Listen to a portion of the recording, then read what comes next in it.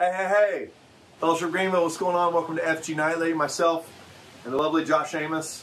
Josh, where are we? We are hanging out at Jim's house outside next to his trampoline in his man cave. Yeah, this is my uh, my dumpy redneck back porch, and uh, I'm glad that we get to do uh, COVID nineteen during spring. If we had to do this during January, Oh, it would be How cold would that be? it would be if we had to do it in Ohio.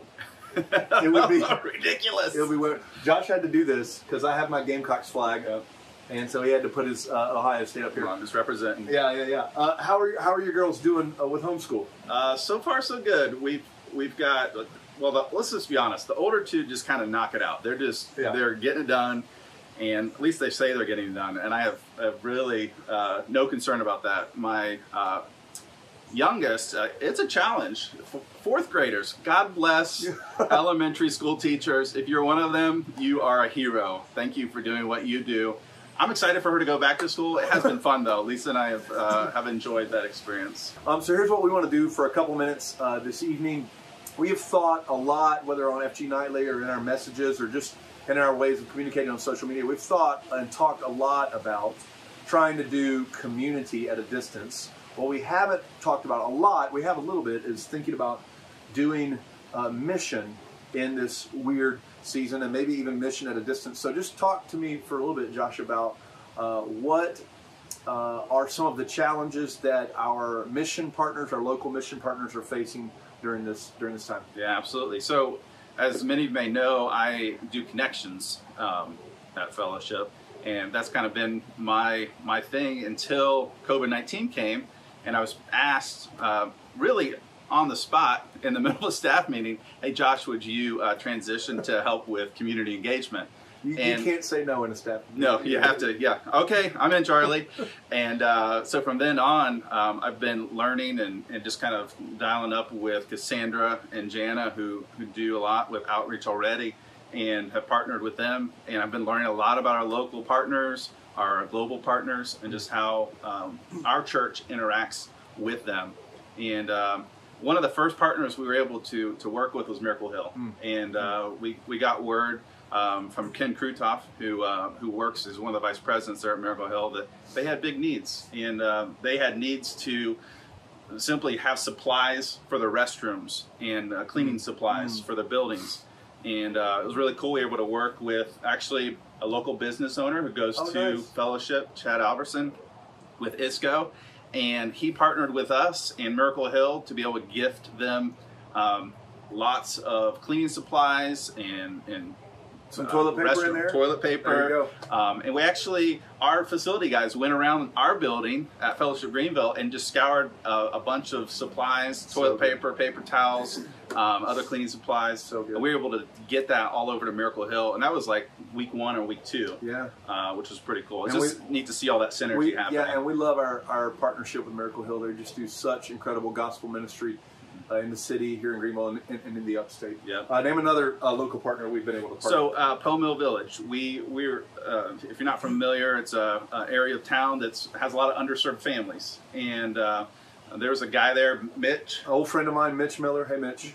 and uh, he's you know he's on the ground making stuff happen. We were able to uh, we had some, some people in the church get together like kids games and books and stuff like that. Put them in little kits, and we were able to donate those to uh, Pill Mill Village, Pill Mill Village, and then also we've had a um, a gal, uh, Candon, uh, who lives on the west side. She knew of families on the west side that just didn't have food. This was week one or week two of this whole thing, and so we as a church uh, put out the, uh, the the plea for people to basically go shop at both Harvest Hope or Walmart, pick up food, and deliver it to these families. I mean, some of these families didn't even know the food was coming, and uh, Oh, it just shows up on their steps. Uh, FG volunteers just showing up and saying, "Hey, uh, here's a gift for you from Fellowship Greenville. Uh, enjoy." Yeah, and I love that all ministry requires presence and Mhm. nearness. You know, Yeah. that's what the incarnation of Jesus is about, coming to be in the middle of our stuff. But uh, rethinking creatively what that has to look like has been really beautiful. Yeah. Uh, we also, I believe, we have a partnership, and we're helping out some of our Prisma healthcare professionals. Yeah, so like? yeah, that was kind of a, a unique partnership. We weren't sure how that was going to happen, just because I mean they they have to stay quarantined even for some of them after their shifts and Yeah. stuff.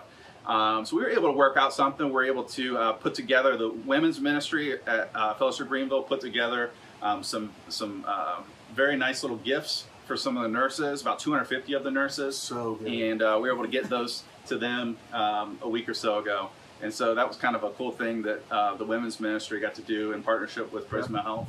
Dude, I love it. I love, I love that we're being painted into a corner of reimagining freshly what it means to serve people and be on mission Mm-hmm. and uh, serve God by serving people. Uh, wh- one other thing I was going to mention. So the deacons. okay. All right. So the deacons have done something pretty cool. We we have some missionaries that have come home Okay. and are retired in our community. You can't imagine. Like I know my grass is like growing like crazy now with all this Yeah. rain we're getting. So like all these deacons go to these missionaries' homes and are just knocking out all of their landscaping, pulling weeds, um, taking care of lawns. I mean, like literally, we said, "Hey, here's a need," and the deacons knocked it out. So, And- so good. I love our deacons, so thank you, deacons, for showing Awesome. up uh, really bigly. So. Yeah, I love that. That's so so good. Now, our favorite way to uh, locally help and serve and uh, partner with local um, some of our uh, help with our local partners is that we we eat. Uh, and they benefit. And this is not a joke. No. Okay, we're doing Takeout Tuesday. Takeout Tuesdays. So you eat food, and our local partners get help. Tell Yes, me about that. So we did it for the first week this past Tuesday, and you guys showed up in droves. We had no idea Dude, what we to almost expect. like we probably caused wrecks on Woodruff Road. We did, for we did. Tropical Grill. So, like, so many of you showed up, and you had great attitudes, and uh, it was awesome. It really was. Yeah. We ended up uh, getting permission to send some of you over to Malden and still get credit for that. So, we are going to be able to donate a Mm. check of uh, $500 to Harvest Hope, and uh, that's going to supply go, uh, more food for uh, Harvest Hope to be able to give away. Mm. Um, just because you chose a restaurant to show up to and be a part of that. So tomorrow we've got another restaurant. Uh, actually, three restaurants this time because you guys did so awesome last time. It is Cinco de Mayo tomorrow. So we've got three Mexican restaurants. You can't. Hey, you can't say no to this. All right, so Uncle Berto's at Five Forks. Uh, we got Salsaritas on Pelham. And then we've got La Paria, which is over there Oh, yeah. uh, near Whole Foods and all that on Market Point. Sure. So three restaurants. Go to lunch or dinner. Let them know that you are there with Fellowship Greenville. Hey, just an idea. If you want to avoid the crowds, go like in the four to four thirty hour. if you're going for dinner, or early lunch shift. yeah, if you can, do, to you can do lunch. And who does who does it like when we go there? Who who gets to be So- blessed by that? Right. So World Relief, which is one of our local Oh, partners, Natalie Trelitsky. Yep. Um, so they are going to be the partner that receives the, the benefit for this one. So get out there and Cinco de Mayo, right? Get some Mexican uh, food from So Uncle good. Berto's, Salsaritas, or La Paria. Dude, so so perfect, so so perfect. Now uh, we've thrown a lot at you, and I, I do hope, I mean, minimally, that you're encouraged that hey, we're trying to continue to partner with Jesus on mission, just to love and serve and care for people in the upstate, and trying to do that creatively. So give us three simple takeaways, three things that our people Mm-hmm. can do as they think about mission. Gotcha. Takeout Tuesdays. This is a great way to be on mission. You can go to uh, one of those restaurants I mentioned, Uncle Berto's, Salsaritas, or La Paria this Tuesday. Mention Fellowship Greenville, and World Help uh, benefits from that. I think number two, you go onto the website. There's a, a little button on our on our COVID nineteen response page, and it says "I can help," and you can click that, and you'll get updates on different things that our church is uh, promoting that you are going to be able to jump in and help with, like delivering the food to uh, to needy families. Or we've got another opportunity coming up. I can't talk about it right now, but I'll just leave you in suspense.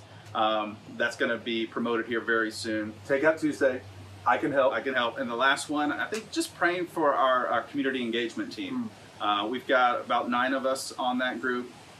And um, just that God would continue to uh, allow us to see the opportunities around and respond well to those. And uh, I love working with that team. I So always good. say some of the best people in Greenville County work at Fellowship Greenville. And uh, we've certainly enjoyed working well together. So Awesome. Well, yeah, we would love for you guys to keep those things in mind as we continue to think well about mission, and God give us the wisdom and grace and peace to do that well. Um, Fellowship Greenville, we love you guys a lot, and uh, we'll be back together soon in person where we could give each other high fives and hugs and stuff. So until then, see you guys. Much love. Bye.